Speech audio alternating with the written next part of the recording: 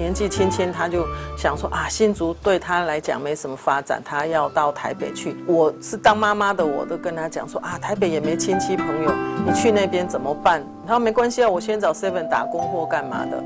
那他毅然决然他就去了，这样子。不知道自己可以做什么事情。就是我那时候刚开始出道的时候是做平面模特儿，刚开始拍照的时候，我问妈妈，我说：“哎，妈妈，你我我就做个好吗？”然后我妈就瞄了我一眼，说：“不好。”我们会担心，可是他自己不会担心。他就说：“你在搞什么？我我不是跟你说了你要做会计吗？因为我妈最喜欢我做会计了。”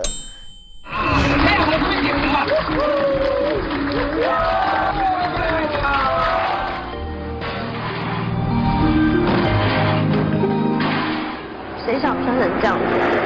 我也想当个大小姐，被人家尊重，被人家疼啊。可是就是没有那个命嘛。十八岁高中毕业，便孤身一人来到台北。乔恩就像她在《千金百分百》中扮演的女主角梁小凤一样，总是将活泼开朗、最阳光的一面展现在外，自己则默默承受只身闯荡的辛酸和泪水。我家里其实对他了解不多，他一个人在台北很受苦的时候，他没让我们知道，他就报喜不报忧。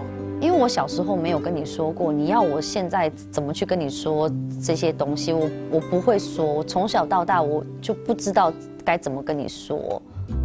陈妈妈的虎妈式教育，让乔恩从来都不敢跟妈妈说母女间的悄悄话，直到这次进入旋风孝子。两人才尝试着开启之前从未聊过的话题。哎呦呀，身体累累。哇，他好小哦，他好年轻哦。你几岁啊？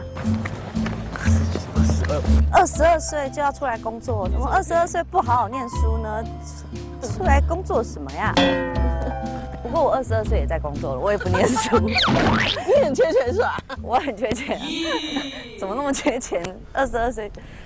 不是啊，因为小时候就会渴望长大，你知道吗？很想要快点出来工作。如今已然成名的乔恩，对于这段台北打拼史毫不避讳，常常自得一手好黑，把自己的辛酸史晒得不亦乐乎。